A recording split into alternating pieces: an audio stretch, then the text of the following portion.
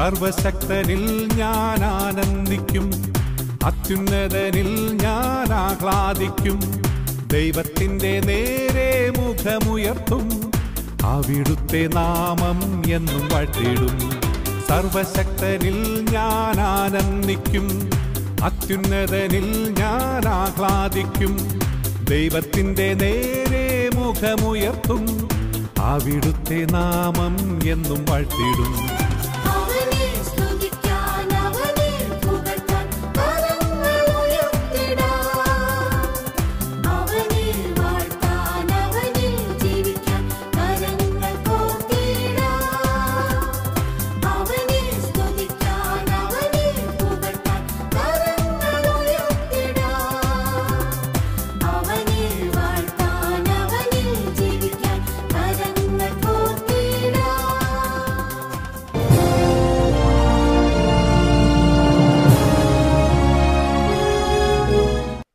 ഈശോ മിശുഹായ്ക്ക് സ്തുതിയായിരിക്കട്ടെ.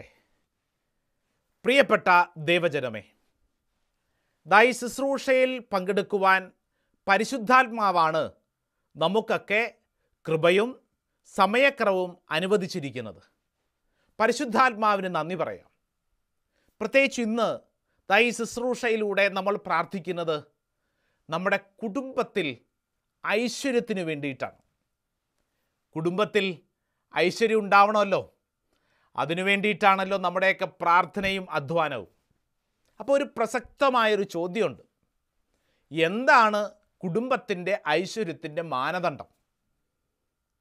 എന്താ കുടുംബത്തിന്റെ ഐശ്വര്യത്തിന്റെ മാനദണ്ഡം? ചിലരുടെ ചിന്ത കുറേ പണം ഉണ്ടെങ്കിൽ വീട്ടിൽ ഐശ്വര്യമുണ്ട് അല്ലേ? മറ്റു ചിലരുടെ ചിന്ത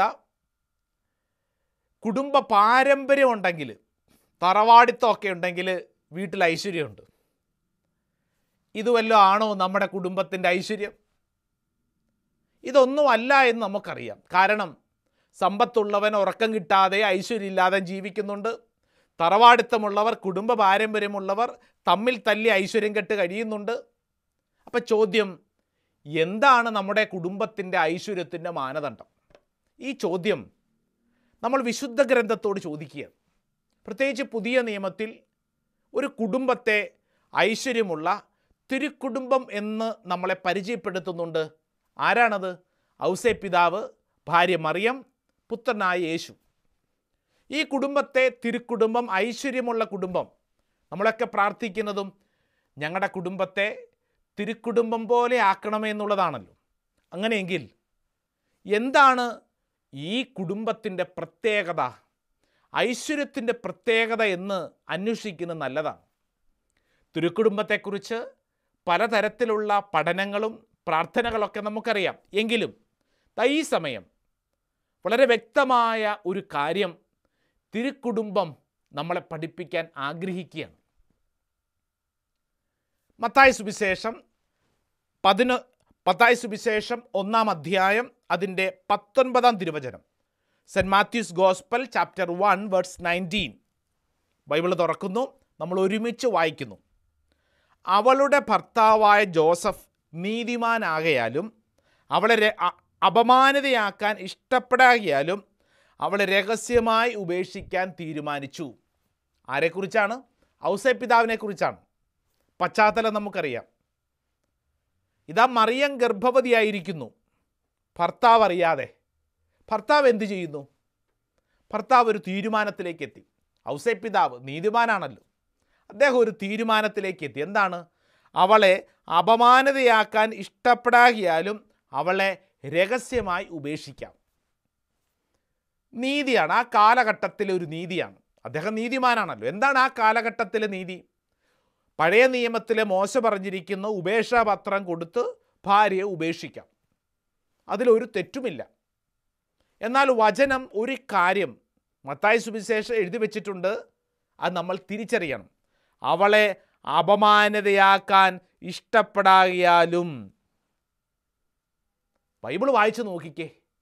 പ്രിയപ്പെട്ടവരെ ഒരു വാക്ക് കൊണ്ട് ഒരു നോട്ടം കൊണ്ടെങ്കിലും ചെറിയൊരു പെരുമാറ്റ ശൈലി കൊണ്ടെങ്കിലും ഔസേ പിതാവ് ഭാര്യയായ മറിയത്തെ വേദനിപ്പിച്ചിട്ടുണ്ടോ? ഒരു കുടുംബത്തിന്റെ ആരംഭം ഭാര്യയും ഭർത്താവും കൂടി ചേരക്കപ്പെടുകയാണ്. ആ കുടുംബത്തിന്റെ ആരംഭത്തിൽ തന്നെ കല്ലുകടിയാണ് വലിയൊരു ദുരന്തമാണ്. പക്ഷേ ആ കുടുംബനാഥൻ ഒരു തീരുമാനമെടുത്തു. എന്താ തീരുമാനം? എന്റെ വാക്കുകൊണ്ട് എന്റെ നോട്ടം കൊണ്ട് എന്റെ പെരുമാറ്റം കൊണ്ട് ഒരിക്കലും എന്റെ ഭാര്യയെ ഞാൻ അപമാനിതയാക്കില്ല.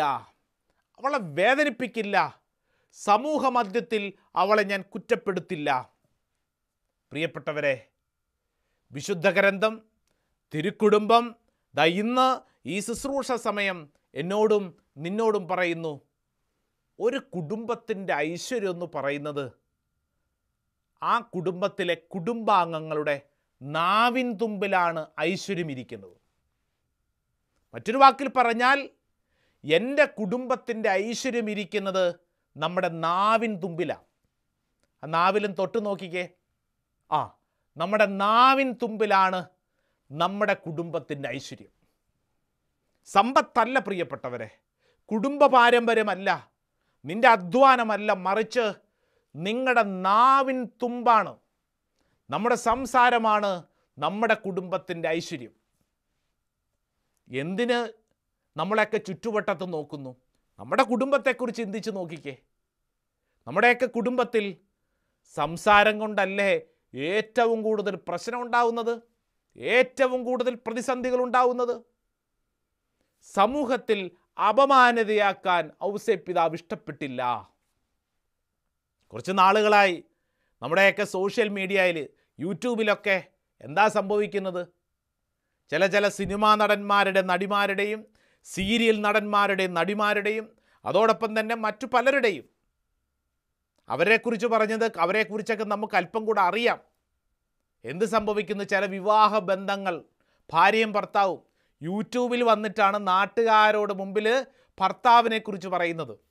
ആ മനുഷ്യൻ എന്നോട് ഇങ്ങനെ ചെയ്തു ആ മനുഷ്യൻ എന്നോട് ഇങ്ങനെ ചെയ്തു ഇങ്ങനെ പറഞ്ഞു ഇങ്ങനെ അപമാനിച്ചു. അത് കേട്ട് കഴിയുമ്പോഴത്തേക്ക് കുറേ പേര് ഫാൻസ് അസോസിയേഷൻകാരൊക്കെ വരുന്നു. പിന്നീട് ഭർത്താവ് വരുന്നു. അവൾ എന്നോട് ചെയ്തു ഇങ്ങോട്ട് ചെയ്തു. എവിടെ ഇതെല്ലാം പറയുന്നത്? മാധ്യമങ്ങളുടെ മുമ്പിൽ. പത്രസമ്മേളനം നടത്തിക്കൊണ്ടാണ് ചില ഭർത്താക്കന്മാരും ഭാര്യമാരും പരസ്പരം സംസാരിക്കുന്നത്. പരസ്പരം ചെളി വാരി എറിയുക. പ്രിയപ്പെട്ടവരെ നമ്മുടെ കുടുംബത്തിലെ പ്രശ്നങ്ങൾ മറ്റുള്ളവരുടെ മുമ്പിൽ പോയി പത്രസമ്മേളനം നടത്തിയിട്ട് കാര്യമുണ്ടോ? യൂട്യൂബിൽ കയറിയും വാട്സപ്പിൽ കയറിയും ഫേസ്ബുക്കിൽ കയറിയും തെറി പറഞ്ഞിട്ട് കാര്യമുണ്ടോ? നമ്മുടെ കുടുംബത്തിന്റെ ഐശ്വര്യം നമ്മുടെ നാവിൻ തുമ്പിലാണ് ഇരിക്കുന്നത്. നാവിൻ തുമ്പിൽ പ്രിയപ്പെട്ടവരെ ഇത് വളരെ പ്രസക്തമായൊരു കാര്യമാണ്. അതായത് നമ്മുടെ കുടുംബത്തിന്റെ ഐശ്വര്യത്തിന്റെയും മാനദണ്ഡം.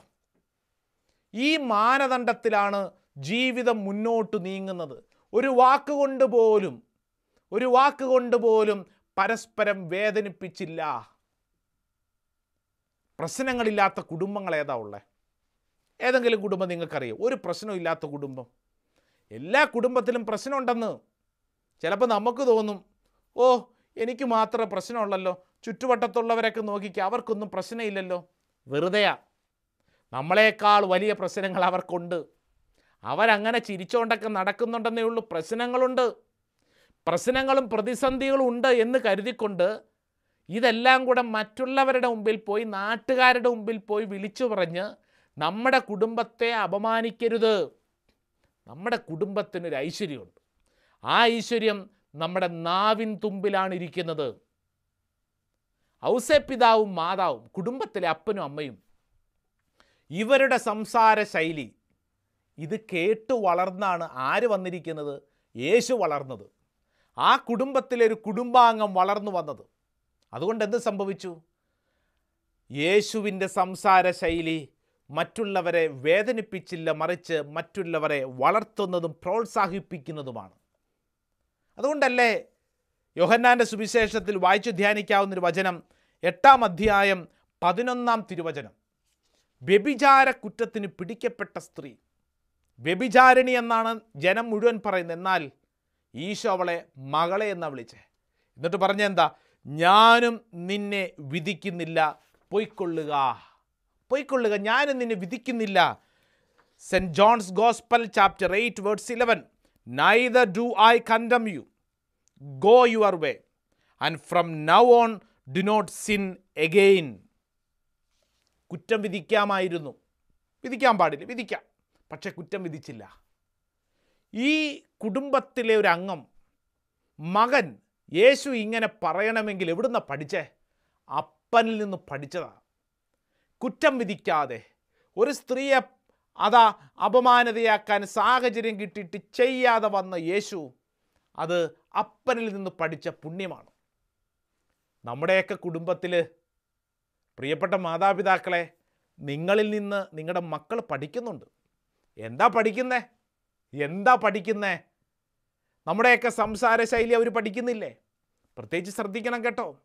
മാതാപിതാക്കളെ നിങ്ങൾ വഴക്കുണ്ടാക്കുമ്പോൾ നിങ്ങളുടെ മക്കൾ ആ വഴക്ക് കേൾക്കുന്നുണ്ട്. പരസ്പരം വഴക്ക് പറയുമ്പോൾ എന്താ പറയുന്നേ? സുഹൃതജപമൊന്നും അല്ലല്ലോ പറയുന്നത്. പരസ്പരം പറയുന്നത് മുഴുവൻ പരസ്പരമുള്ള കുറ്റങ്ങളാണ്. ഭർത്താവ് ഭാര്യയോട് പറയുന്നത് നിന്നെ കെട്ടിയതാണ് നിന്റെ കുടുംബമാണ് അങ്ങനെയാണ് ഇങ്ങനെയാണ്. ഭാര്യ നേരെ തിരിച്ച്. ഇതൊക്കെ ആര് കേൾക്കുന്നുണ്ട്? മക്കൾ കേൾക്കുന്നുണ്ട്. അവരുടെ തലയിൽ ഇതെല്ലാം സ്റ്റോർ ചെയ്യപ്പെടും. പിന്നീട് ഒരിക്കൽ അവരെ വഴക്ക് പറയാൻ ചെല്ല്. അപ്പോൾ മക്കൾ പറയും അപ്പൻ വലിയ കുടുംബ പാരമ്പര്യമൊന്നും പറയണ്ട. അപ്പൻ ഇന്നാൾ അമ്മയോട് പറയണൊക്കെ ഞാൻ കേട്ടു. അമ്മ ഉപദേശിക്കാൻ ചെല്ല് മക്കളെ. അപ്പോൾ മക്കൾ പറയും അമ്മയും വലിയ വർത്താനൊന്നും പറയണ്ട. കാരണം ഞങ്ങളും കേൾക്കുന്നുണ്ട് നിങ്ങളുടെയൊക്കെ സംസാരം. പ്രിയപ്പെട്ട മാതാപിതാക്കളെ നമ്മുടെ സംസാരം നമ്മുടെ മക്കൾക്ക് നന്മയാണോ തിന്മയാണോ കൊടുക്കുന്നത്? കുറേ നാളുകൾക്ക് മുമ്പ് ഒരു അമ്മയും മകളും കൂടെ ഒരു ധ്യാനാവസരത്തിൽ പ്രാർത്ഥിക്കാമെന്ന് അച്ഛാ അമ്മ പറയുക ഈ മകളുടെ തലയ്ക്ക് പിടിച്ച് പ്രാർത്ഥിക്കച്ച തലയ്ക്ക് പിടിച്ച് പ്രാർത്ഥിക്കും. ഞാൻ ചോദിച്ചു എന്തു പറ്റി? അച്ഛാ വാ തുറന്ന ചീത്ത വാക്കേ പറയും ചീത്ത വാക്ക്. ഇത് എവിടുന്ന് പഠിച്ചാവോ? അമ്മ പറയും ഇത് എവിടുന്ന് പഠിച്ചാവോ? ഇവൾ ചീത്ത വാക്കേ പറയും അച്ഛൻ ഇവളുടെ ഉള്ളി പിശാചാണ്. തലയ്ക്ക് പിടിച്ച് പ്രാർത്ഥിക്കും. അപ്പം ഞാൻ ഈ കുട്ടിയെ നോക്കി പ്രാർത്ഥിക്കുന്നതിന് മുമ്പ് അമ്മയും കൂടെ നോക്കി. ആ നോട്ടം കണ്ടു കഴിഞ്ഞപ്പോഴത്തേക്ക് അമ്മ എന്നോട് പറഞ്ഞു അച്ഛാ എന്റെയും കൂടെ തലയ്ക്ക് പിടിച്ചേക്ക്. എന്റെയും കൂടെ തലയ്ക്ക് പിടിച്ചേക്ക്. കാര്യം മനസ്സിലായോ? ഈ കുട്ടി എവിടുന്നാണ് പഠിച്ചു വന്നത്? ഈ കുട്ടി പഠിച്ചു വന്നത് അമ്മയുടെയും അപ്പന്റെയും സംസാര ശൈലി കേട്ടു പഠിച്ചതാ. അവർ പറയുന്ന ചീത്തയാണ് മക്കൾ പറഞ്ഞുകൊണ്ടിരിക്കുന്നത് പ്രിയപ്പെട്ടവരെ നമ്മുടെ കുടുംബത്തിൽ സംഭവിക്കുന്ന കാര്യം അതാണ്. നമ്മുടെയൊക്കെ സംസാര ശൈലി മറ്റുള്ളവരിലേക്ക് മക്കളിലേക്ക് ഇതിങ്ങനെ പടരും. മത്തായുടെ സുവിശേഷം പന്ത്രണ്ടാം അധ്യായം മുപ്പത്താറ് മുപ്പത്തേഴ് വചനം. Saint Matthew's gospel chapter twelve words thirty six and thirty seven. ഞാൻ നിങ്ങളോട് പറയുന്നു മനുഷ്യർ പറയുന്ന ഓരോ വ്യർത്ഥവാക്കിനും വിധി ദിവസത്തിൽ കണക്ക് കൊടുക്കേണ്ടി വരും. ഒന്നുകൂടെ വായിക്കാം. ഞാൻ നിങ്ങളോട് പറയുന്നു മനുഷ്യർ പറയുന്ന ഓരോ വ്യർത്ഥവാക്കിനും വിധി ദിവസത്തിൽ കണക്ക് കൊടുക്കേണ്ടി വരും. കണക്ക് കൊടുക്കേണ്ടി വരും. എന്ന് പറഞ്ഞു കഴിഞ്ഞാൽ ഒരു വിധി ദിവസമുണ്ട്. നമ്മുടെയൊക്കെ സംസാരം ഓ ഞാൻ വെറുതെ പറഞ്ഞതല്ലേ? തമാശയ്ക്ക് പറഞ്ഞതല്ലേ? ഞാനൊന്നും ഓർക്കാതെ പറഞ്ഞതാണ്. ഒക്കെ ശരിയാ. പക്ഷേ ഒരു വിധി ദിവസമുണ്ട്. ആ വിധി ദിവസത്തിൽ നമ്മൾ ഇതിനൊക്കെ കണക്ക് കൊടുക്കേണ്ടി വരും. അതാണ് saint Matthew's gospel chapter twelve words thirty six and thirty seven says I tell you on the day of judgment you will have to give an account for every careless word you utter. ഓരോ വ്യർത്ഥ വാക്കിനും ഉത്തരം കൊടുക്കണം. കണക്ക് കൊടുക്കണം. മുപ്പത്തേഴാം വചനം പറയുന്നു for by your words you will be justified and your word words you will be condemned നിന്റെ വാക്കിനാൽ നീ കുറ്റം വിധിക്കപ്പെടും. നമ്മുടെയൊക്കെ വാക്കിന് കണക്ക് കൊടുക്കണമെന്നാണ് പറയണത് കണക്ക് വേണം. പറയുന്നതിനൊക്കെ കണക്കുണ്ട്. അതൊക്കെ എഴുതപ്പെടും. അല്ലേ? സാധാരണഗതിയിൽ ഈ സ്ത്രീകളുടെ സംസാരത്തെയും പുരുഷന്മാരുടെ സംസാരത്തെയും കുറിച്ച് പ്രതിപാദിക്കുമ്പോൾ പറയുന്നത് എന്താണ്? പുരുഷന്മാരുടെ സംസാരം ബ്ലാ ബ്ലാ. അല്ലേ? സ്ത്രീകളെക്കുറിച്ച് പറയുമ്പോൾ ബ്ലാ ബ്ലാ ബ്ലാ ബ്ലാ എന്താണ് അതിന്റെ അർത്ഥം? അതാ കണ്ടിന്യൂസ് ആണ്. അതിങ്ങനെ പറഞ്ഞുകൊണ്ടിരിക്കുന്നു. നമ്മുടെയൊക്കെ ചുറ്റുവട്ടത്ത് ഇങ്ങനെയുള്ള ചില സംസാരം കണക്ക് കൊടുക്കേണ്ടി വരും. ചുമ്മാ ബ്ലാ ബ്ലാ ബ്ലാ ബ്ലാ പറഞ്ഞിട്ട് കാര്യമില്ല. ഇതിന് കണക്ക് കൊടുക്കേണ്ടി വരും. ഒരു വിധി ദിവസമുണ്ട്. ഒരു വിധി ദിവസമുണ്ട്. ഞാനൊന്നും ഓർത്തില്ല അറിഞ്ഞില്ല ചുമ്മാതെ പറഞ്ഞതാണ് എന്ന് പറഞ്ഞിട്ട് കാര്യമില്ലെന്നാണ് വിശുദ്ധ ഗ്രന്ഥം നമ്മളെ കൃത്യമായിട്ട് പഠിപ്പിക്കുന്നത്. ഈ കാലഘട്ടത്തിലൊക്കെ ഈ സോഷ്യൽ മീഡിയ വളരെ ആക്റ്റീവായതിന് ശേഷം സംഭവിച്ചൊരു കാര്യമുണ്ട്. പ്രത്യേകിച്ച് നമ്മുടെയൊക്കെ രാഷ്ട്രീയ നേതാക്കന്മാരൊക്കെ അവർ ഓരോ ഇലക്ഷൻ കാലഘട്ടത്തിലും ഓരോ സാഹചര്യത്തിനനുസരിച്ച് ചില കാര്യങ്ങൾ മാറ്റി പറയുകയല്ലേ എന്നാൽ ഇപ്പോൾ ഒരു പ്രത്യേകത എന്തുണ്ട്? എന്താ? അഞ്ച് വർഷങ്ങൾക്ക് മുമ്പ് പറഞ്ഞതൊക്കെ ഇപ്പോഴും അത് റെക്കോർഡ് ചെയ്ത് സൂക്ഷിച്ചിരിക്കുക. ന്യൂസ് ചാനലിലെ കണ്ടിട്ടില്ലേ? ഇന്നൊരു നേതാവ് വന്നിട്ടൊരു കാര്യം പറയുമ്പോഴത്തേക്ക് രണ്ട് വർഷം മുമ്പ് അഞ്ച് വർഷം മുമ്പ് പത്ത് വർഷം മുമ്പ് അതേ നേതാവ് പറഞ്ഞ കാര്യങ്ങളൊക്കെ എടുത്തു കാണിക്കും. നേർ വിപരീതമായിട്ട് അന്ന് പറഞ്ഞ കാര്യങ്ങൾ നിലപാടുകൾക്ക് വ്യത്യാസം വന്നത്. ഈ കാലഘട്ടത്തിൽ തന്നെ മരിച്ചു പോകേണ്ട ആവശ്യമൊന്നുമില്ല. ഈ കാലഘട്ടത്തിൽ തന്നെ നമ്മൾ പറയുന്ന ഓരോ വാക്കും നമ്മളെ കുറ്റം വിധിച്ചുകൊണ്ടിരിക്കുകയാണ് ഇന്നലകളിൽ നമ്മൾ പറഞ്ഞ പല കാര്യങ്ങളും ഇന്ന് നമുക്ക് ഭാരമായിട്ട് മാറിയില്ലേ? ചില വ്യക്തികളോടൊക്കെ നമ്മളെടുത്ത ചില നിലപാടുകൾ ചില സംസാര ശൈലികൾ ചിന്തിച്ചു നോക്കിക്കേ. അതുകൊണ്ടല്ലേ പലപ്പോഴും പലതരത്തിലുള്ള ഭാരങ്ങൾ നമ്മൾ അനുഭവിക്കുന്നത്? കണക്ക് കൊടുക്കേണ്ടി വരും.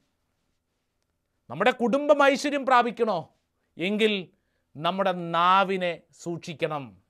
വചനം പഠിപ്പിക്കുന്നുണ്ട്. മത്തായ സുവിശേഷം അഞ്ചാം അധ്യായം ഇരുപത്തി രണ്ടാം തിരുവചനം. Saint Matthew's gospel chapter five words twenty two. സഹോദരനെ ഭോഷ എന്ന് വിളിക്കുന്നവൻ ന്യായാധിപ സംഘത്തിന്റെ മുമ്പിൽ നിൽക്കേണ്ടി വരും വിഡ്ഢി എന്ന് വിളിക്കുന്നവനാകട്ടെ നരകാഗ്നിക്ക് ഇരയായിത്തീരും. Liable to hell of fire liable to judgment നമ്മുടെയൊക്കെ സംസാരം ശ്രദ്ധിക്കേണ്ടിയിരിക്കുന്നു.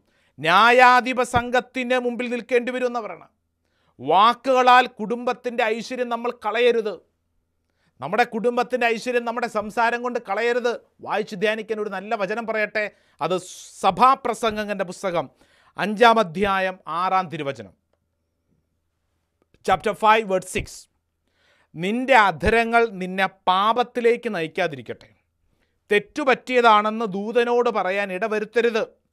വാക്കുകളാൽ ദൈവത്തെ പ്രകോപിക്കുകയും പ്രകോപിപ്പിക്കുകയും അങ്ങനെ നിന്റെ അധ്വാന ഫലം നശിക്കാൻ ഇടയാക്കുകയും ചെയ്യുന്നത് എന്തിന്? എന്താണ് ചോദ്യം? വാക്കുകളാൽ ദൈവത്തെ പ്രകോപിപ്പിക്കുകയും അങ്ങനെ നിന്റെ അധ്വാന ഫലം നശിക്കുവാൻ ഇടയാക്കുകയും ചെയ്യുന്നത് എന്തിന്? നമ്മുടെ വാക്കുകൊണ്ട് സംസാരം കൊണ്ട് കുടുംബത്തിന്റെ അധ്വാന ഫലം നശിക്കാം. വചനം പറയുക. എല്ലാം അധ്വാനിച്ചു കൊള്ളാം നല്ല കാര്യം. പക്ഷെ ഒരൊറ്റ വാക്ക് പോരെ അതെല്ലാം ഉടച്ചു കളയാൻ. ഒരമ്മ കുടുംബത്തിലൊരമ്മ രാവിലെ അതിരാവിലെ എഴുന്നേറ്റ് രാത്രി മുഴുവൻ അധ്വാനിച്ചു. കഷ്ടപ്പാടിന്റെ കഷ്ടപ്പാട്. ഒറ്റ കുടുംബത്തിലെ അംഗങ്ങൾ തിരിഞ്ഞു നോക്കുന്നില്ല ഈ അമ്മ സങ്കടത്തോടു കൂടെ ചെയ്യുകയാണ്. അധ്വാനം എല്ലാം കഴിയുന്നു. ഈ അമ്മ ചെയ്യുന്ന പ്രവൃത്തി മുഴുവൻ പരാഗിക്കൊണ്ട്. ഇവന്മാരൊന്നും എന്നെ നോക്കുന്നില്ലല്ലോ. ഇവന്മാർക്ക് വേണ്ടി വെച്ചു വിളമ്പ് ഞാൻ മടുത്തു.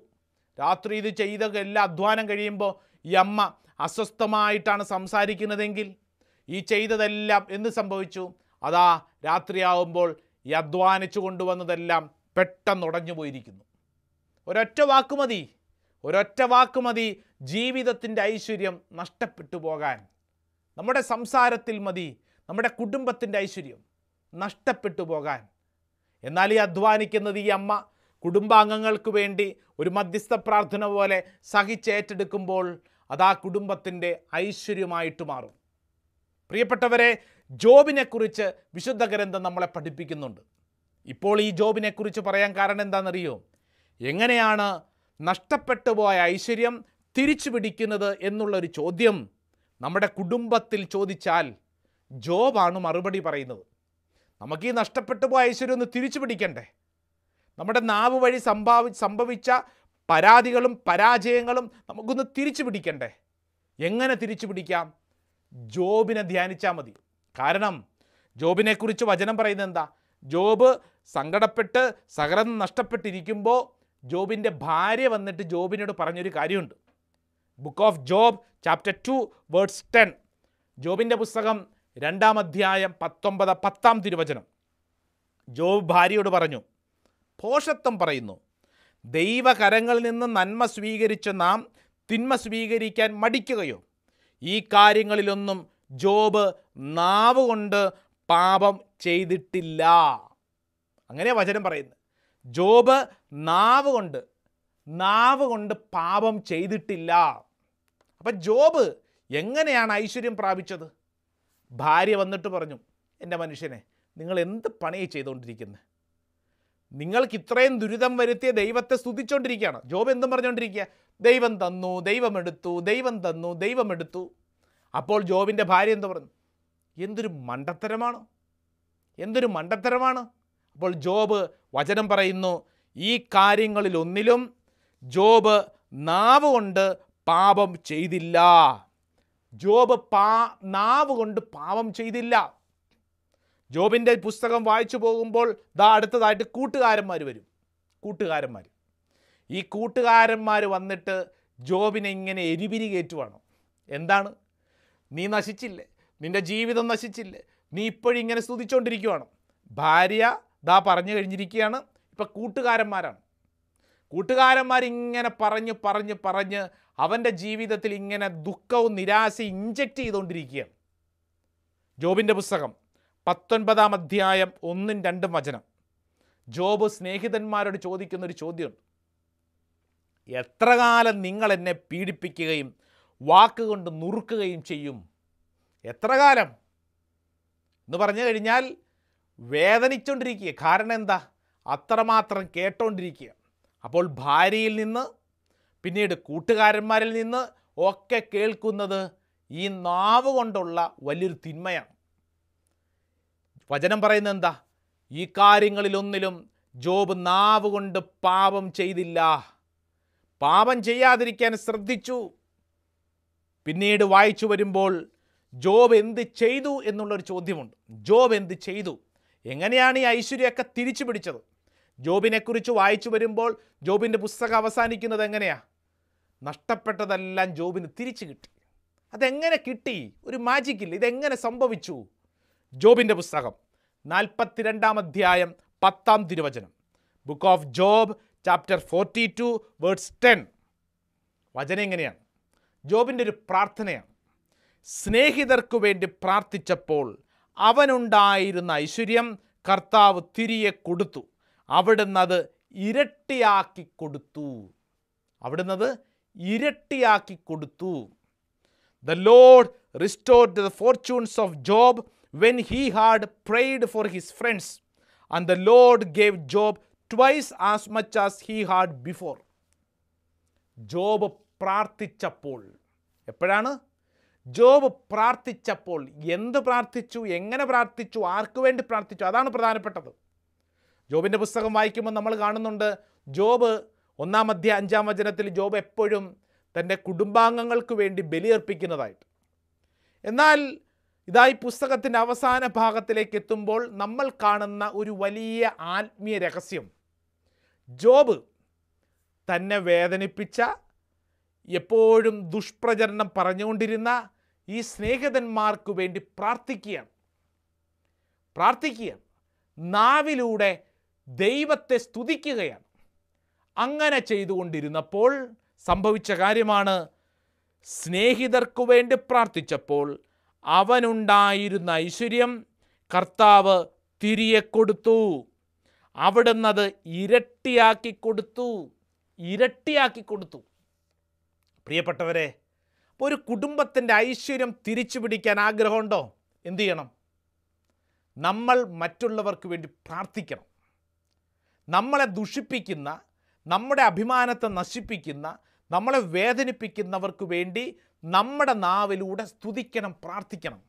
അങ്ങനെ ചെയ്യുമ്പോൾ നഷ്ടപ്പെട്ട ഐശ്വര്യം കർത്താവ് തിരികെ നൽകും. പ്രിയപ്പെട്ട കുടുംബാംഗങ്ങളെ ഒരുപക്ഷെ ഈ വചനം കേട്ടുകൊണ്ടിരിക്കുമ്പോൾ നമ്മുടെ കുടുംബത്തിലൊക്കെ പലപ്പോഴും അറിഞ്ഞും അറിയാതെയും നമ്മുടെ നാവ് കൊണ്ട് മറ്റുള്ളവരെ വേദനിപ്പിച്ചിട്ടുണ്ടാവും. ഈ സമയം ഒരു തീരുമാനം എടുക്കുക എന്തിനു വേണ്ടി? എന്റെ നാവ് ദൈവസ്തുതി ആലപിക്കാനും മറ്റുള്ളവർക്ക് വേണ്ടി പ്രാർത്ഥിക്കാനുമുള്ള ഒരു അനുഗ്രഹത്തിന്റെ അവയവമാക്കി ഞാൻ മാറ്റുന്നു. കാരണം അങ്ങനെ ചെയ്തില്ലെങ്കിൽ പിശാചി കയറി ഇടപെടും നമ്മൾ ആലോചിച്ച് നോക്കിയേ ഉൽപ്പത്തി പുസ്തകം മൂന്നാം അധ്യായം. ദൈവം തിന്നരുതെന്ന് പറഞ്ഞിരുന്ന പഴം ആരാണ് ആദ്യം? ഹൗവ. അതിനുള്ള കാരണം എന്തായിരുന്നു? ഹൗവായും സാത്താനും തമ്മിലുള്ള ഒരു സംഭാഷണം നടക്കുന്നുണ്ട്. ഒരു സംഭാഷണം പിശാചിനോട് സംഭാഷിക്കാൻ പോവല്ലേ? നാവ് കൊണ്ട് നീ അവരോട് മിണ്ടാൻ പോയാൽ എന്ത് സംഭവിക്കും? അവൻ നിന്നെ പീഡിപ്പിക്കും. ഉൽപ്പത്തി പുസ്തകത്തിലെ ആദിമ ചരിത്രത്തിന്റെ ഏറ്റവും വലിയ പതനത്തെക്കുറിച്ച് പറയുമ്പോൾ ഹൗവായും സാത്താനും തമ്മിലുള്ള സംഭാഷണം. ആ കൂട്ടുകെട്ട് ദാ പിന്നീട് സംഭവിക്കുന്നത് വലിയ ദുഃഖത്തിലേക്കാണ്. വലിയ ജീവിതത്തിന്റെ പരാജയം. ഇത് നമുക്കൊരു പാഠമാണ്.